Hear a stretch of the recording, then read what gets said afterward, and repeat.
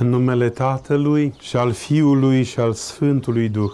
A răspuns deci acela, dacă este păcătos, nu știu. Un lucru știu, că fiind orb, acum văd. Din Evanghelia Sfântului Ioan, capitolul 9, versetul 25.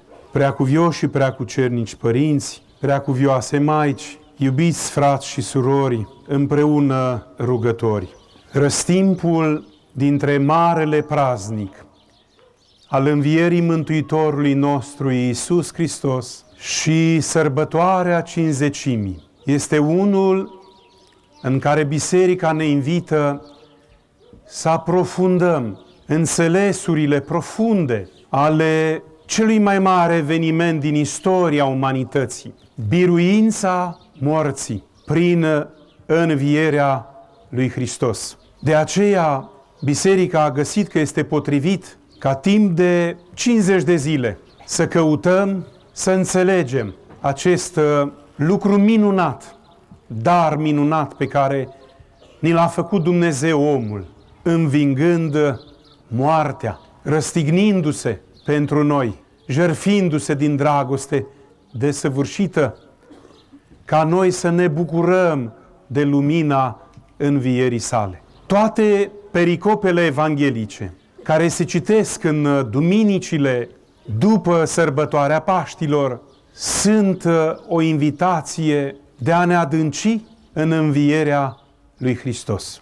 Așa este și duminica de astăzi, în care a fost citită pericopa evanghelică, cea care ne vorbește despre minunea pe care a făcut-o Hristos, a săvârșit-o Hristos cu un orb din naștere.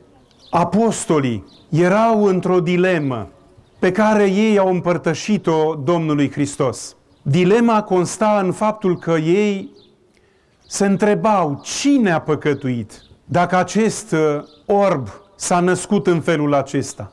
El sau părinții lui? Domnul Hristos le spune că niciunul dintre ei n-a păcătuit. Nici părinții și cu atât mai puțin orbul.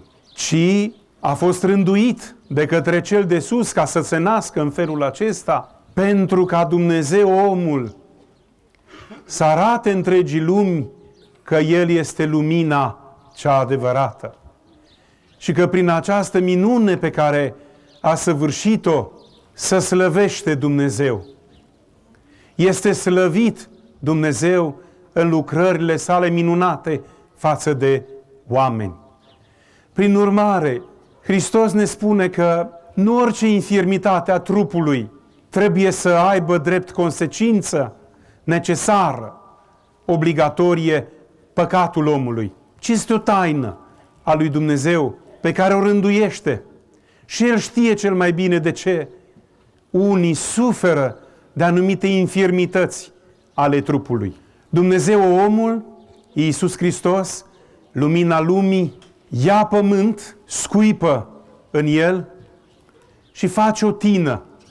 Am spune noi un noroi pe care îl aplică pe ochii acestui orb, rugându-l să meargă la scăldătoarea siloamului, care se tâlcuiește trimis. Și spălându-se de această tină, orbul rămâne uimit pentru că vede. Hristos a făcut acest gest al uh, amestecării pământului, țărânei, cu saliva lui, trimițându-ne la momentul în care a fost creat omul. La fel, a luat pământ și l-a modelat, l-a creat pe om, suflând asupra lui suflare de viață, harul cel necreat al Dumnezeirii celei unice. La fel, Hristos este Cel care ni se arată ca fiind Creatorul, trimisul lui Dumnezeu în această lume. Scăldătoarea Siloamului era cea care primea apa dintr-un loc numit Gihon, care se tâlcuiește fântâna Fecioarei. Hristos s-a născut din Fecioara Maria, din pântecele ei preacurat, ca dintr-o fântână. Și a fost trimisul lui Dumnezeu Tatăl în această lume ca să ne vindece de orbirea spirituală, să ne vindece de miopia spirituală, așa cum l-a vindecat pe acest orb. Însă, consistența acestei minuni pe care a săvârșit-o Hristos cu acest orb rezidă în faptul că el, după această vindecare, orbul, devine văzător de Dumnezeu. Nu primește numai darul acesta al unei vederi fizice, ci el are capacitatea aceasta, darul lui Dumnezeu primit în inima lui de a vedea cele profunde, dincolo de cele pe care noi le vedem și ni se înfățișează.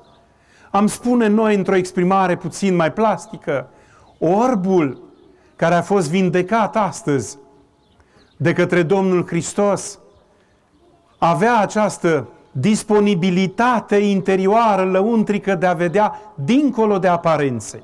Știa să se uite dincolo de cele care nouă ni se înfățișează și la care poate ne oprim. Nu trecem înspre partea nevăzută din cele văzute, înspre cele invizibile, care se ascund întotdeauna în spatele a tot ceea ce noi vedem, vizibilul.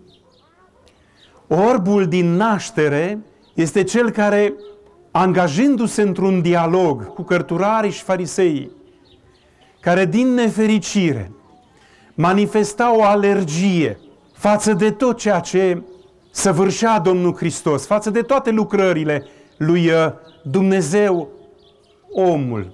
Aceștia n-au putut să asimileze și să accepte că orbul a fost vindecat de către Hristos, conform mărturiei pe care le-a dat-o acestora. Orbul din naștere a primit nu numai uh, vederea fizică, cu care el a reușit să se bucure de tot ceea ce este în jurul său, de oameni, de natura înconjurătoare, și a dăruit retina aceasta spirituală, morală, de a capta lumina dumnezească și de a o transforma într-o mărturisire, într-o apologie deosebită. Știm cu toții ce rol are retina, care este un strat subțire format din celule fotosensibile. Retina este în spatele globului nostru ocular. Și ea este cea care captează lumina și o transformă într-un impuls nervos. Noi așa ne dăm seama și spunem că vedem ceea ce este în jurul nostru. Sesizăm cu ochiul nostru oamenii, lumina, întunericul și tot ceea ce ne dăruiește Dumnezeu. Orbul din naștere a fost înzestrat de către Dumnezeu care l-a vindecat Iisus Hristos cu această retină morală, duhovnicească. Retină care a dat posibilitatea să prelucreze această lumină, să o asimileze, lumina spirituală, pe care a transformat-o într-un uh, dialog apologetic incredibil de frumos. Deosebit de frumos. El, cel care nu avea școală, era fără de carte. Cel puțin așa deducem, pentru că n-ar fi putut să învețe, orb fiind. Sigur că astăzi dispunem de tehnologii moderne în care și orbii pot să învețe, să ajungă oameni culți, cultivați. Însă bănuim că orbul din Evanghelie nu era foarte cultivat. Când a fost interpelat de către cărturarii și farisei care au încercat să-l manipuleze, au încercat să, să fie răutăcioși, spunându-i orbului, cel care te-a vindecat pe tine nu este de la Dumnezeu. Nu e un om sfânt, pentru că el a încălcat ziua sâmbetei, sabatul. Prin urmare, nu știu cine te-a vindecat pe, pe tine. Orbul intră într-un dialog, iertați-mi expresia, spre disperarea acestora. I-a dăruit Dumnezeu o logică imbatabilă, care izvora din această retină spirituală, dovnicească, care a prelucrat lumina, a asimilat lumina lui Hristos, pe care a primit-o în sufletul său. Și a zis așa orbul, nu știu dacă este păcătos. Asta nu ține de mine. E problema voastră dacă voi sunteți atât de preocupați că e păcătos cel care m-a vindecat. Eu una știu, am o evidență pe care nu o pot nega, am fost martorul ei și o trăiesc acum în viața mea. Văd. Este treaba voastră ce vreți voi să faceți, să mă deturnați de la ceea ce eu am experiat. Eu am fost martor. Și anume, nevăzând, orb fiind din naștere, eu acum văd. Cu alte cuvinte, nu mă îmbătați cu apă rece. Nici nu încercați să-mi spuneți că pot lovi cu pumnul vântul sau să albesc tăciunele. Nu-mi cereți lucrurile acestea. E problema voastră, eu știu că văd. Și cărturarii și farisei au continuat uh, dialogul cu acest orb care a dat niște răspunsuri incredibil de bune, extraordinare, întrebându-l cum ți s-a întâmplat acest lucru? Ce a făcut Iisus cu tine? Și șorbul le povestește cum s-a desfășurat această minune cu el. Fariseii, chiar dacă au fost puși în fața acestei relatări, unei mărturii, pe care nu mai puteau contesta. Fiind orb la suflet, i-au spus așa acestui uh, orb care avea o vedere orbitoare. Îi orbea pe întunecații de cărturari și farisei. Acești cărturari au spus, noi nu știm dacă acesta este de la Dumnezeu sau să fie ucenic al lui Moise. Nu este, degeaba ne povestești tu minunea de care te-ai bucurat. Și orbul intervine, iritându-i și mai mult cu răspunsul pe care l-a dat.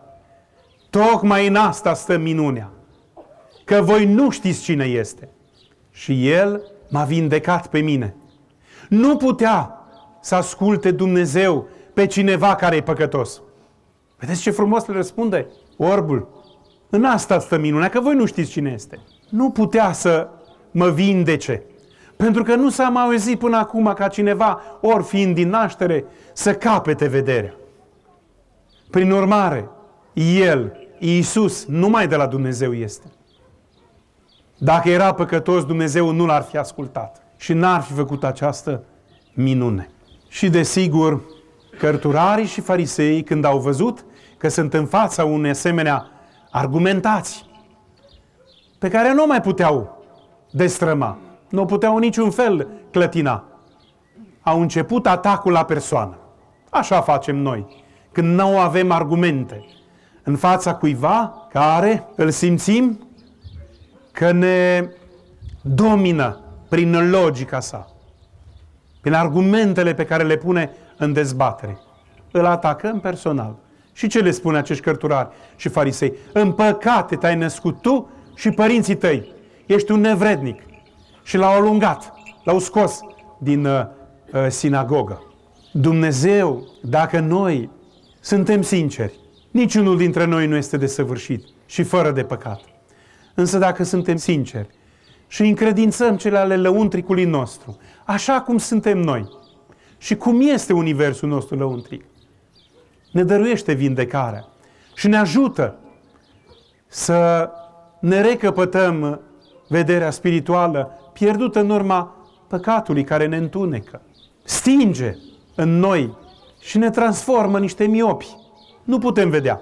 Dacă noi ne vom încredința lui Hristos, El ne va dărui ceea ce v-am spus și a dăruit acestui orb. Retina morală care să prelucreze lumina duhovnicească și prin ea să vedem cele profunde ale lumii de astăzi. Din păcate, suntem foarte mulți orbi sufletește. Nu avem capacitatea de a vedea esența lucrurilor. Ne oprim la doar ceea ce ține de aparență și judecăm, calomniem, bajocorim foarte ușor, fără ca să pătrundem în adâncul inimii celui pe care noi îl judecăm cu foarte multă ușurință, foarte multă lejeritate. Mai mult decât atât, ne lăsăm ademeniți de manipulări care nu au un fundament rațional. Așa cum nu avea niciun fel de fundament tot ceea ce spuneau cărturari și farisei care încercau, într-un fel, să-l determine pe orb să spună, nu văd, deși el vedea. N-a făcut minunea cu mine Hristos. N-a făcut nimic cu mine. Cu toate că el a fost martorul că a primit vederea. Așa ar fi vrut cărturarii și farisei să-l manipuleze.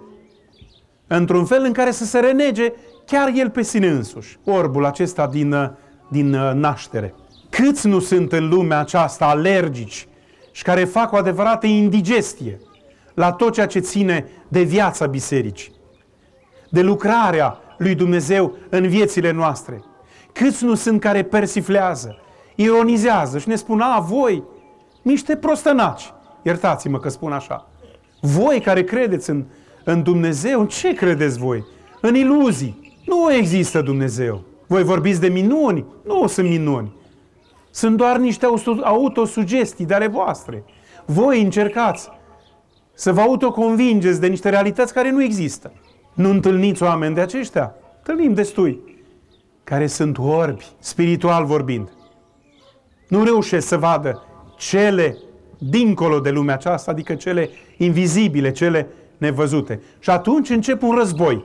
Un război cu toți cei care credem în Hristos. Îl mărturisim pe Hristos.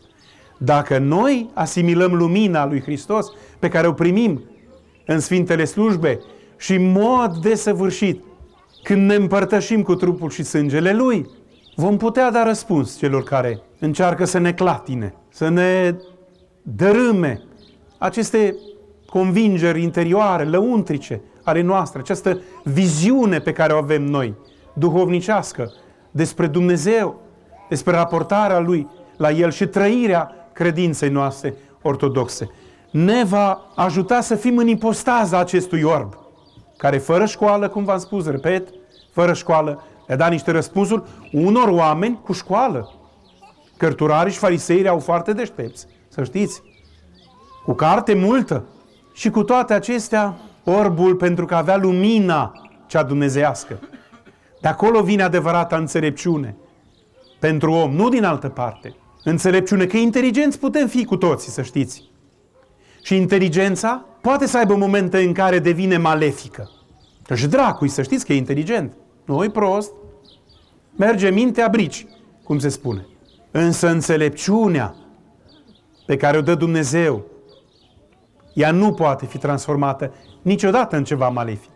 Înțelepciunea este un amestec, dacă vreți, de inteligență cu credință, cu lumina care vine de la el de acolo de sus. Și din acest amestec, din această minte în care se așează credința, se naște înțelepciunea, căreia nu îi voi put- vor putea sta împotrivă, cum spune Hristos, toți deștepții lumii acestea. Așa a fost acest orb. Și să ne rugăm ca Domnul să ne dăruiască. Dacă avem retina fizică care captează lumina prin celulele ei și o transformă într-un impuls nervos și noi constatăm că vedem, la fel ar trebui să ne rugăm Domnului să ne dea retina morală, duhovnicească, spirituală, care să capteze lumina cea dumnezească, să o primească, și acum au primit-o apostolii pe muntele taborului și să o transforme această lumină într-un mod de viață al nostru, într-un anume mod de a gândi, dobândirea unei mentalități, a unei uh, minți care să aibă în ea gândul lui Hristos. Amin.